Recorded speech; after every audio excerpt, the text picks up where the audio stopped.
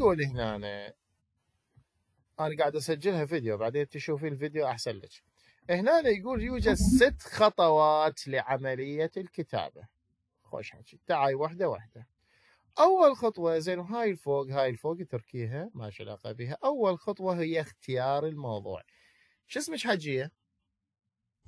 زهراء زهراء أنت قبل ما تبدين تكتبين موضوع لازم تختار آه، عفوا قبل ما تكتبين أي كتابة كون لازم فاهمة أو تعرفين عن شنو. مثلا أنا هسه أريد أكتب قلت أريد أكتب عن التدخين فاختاريت الموضوع. هذا الموضوع يكون before write قبل الكتابة. أخاف يجيب لك بالامتحان؟ فراغ before write هو قبل الكتابة اللي هي choose توبك اختيار الموضوع. زين أنا اختاريت موضوع. راسا أجي أكتب؟ لا غلط. ثاني شيء تشوفين أنا اختاريت على التدخين. الدور gather ideas. أجمع المعلومات. أنا إيش عندي معلومات عن التدخين بالله؟ مثلا عندي معلومات آه إن التدخين مضير وأكو سلبي وأكو غير سلبي ومن هالسوالف وأكو المدخن السلبي. فإذا هاي يصيحوا لها عملية جمع المعلومات. فهي شو يصيحوا لها؟ يصيحوا لها think أن تفكر حول ما سوف تكتبه. بعدين جمعت المعلومات. هسه أبدي أكتب؟ لا. شو أسوي؟ غير أكتب؟ لا. أول مرة فكرت بالموضوع وشفت نفسي شنو المعلومات اللي عندي. بعدين organize أنظم هذه المعلومات. تعريفها شلون؟ To where want to see choose the idea talk about the fair ها هذا الشرح كامل. يجوز يقول يجب أن تختار تختار يابا تختار المعلومات التي يجب أن تتكلم عنها أولاً. يعني شلون راح يصير ترتيبها بداية شلون تتكلم؟ فيجب إذا أول شيء أشوف الموضوع بعدين gather ideas بعدين organize أنظم هذه المعلومات بعدين أبدأ بالكتابة. Write.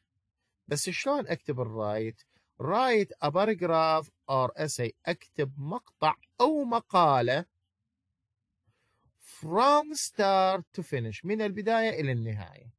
هاي كتبناهن. زين من كتبناهن أسلمهن؟ لا شلون نسلميهن شو نسوي؟ نسوي review مراجعة structure للتركيب and content للمحتوى. شلون أسوي مراجعة؟ أسوي مراجعة check هو عملية فحص. فحص شنو؟ فحص الكتابة. شلون أفحص الكتابة؟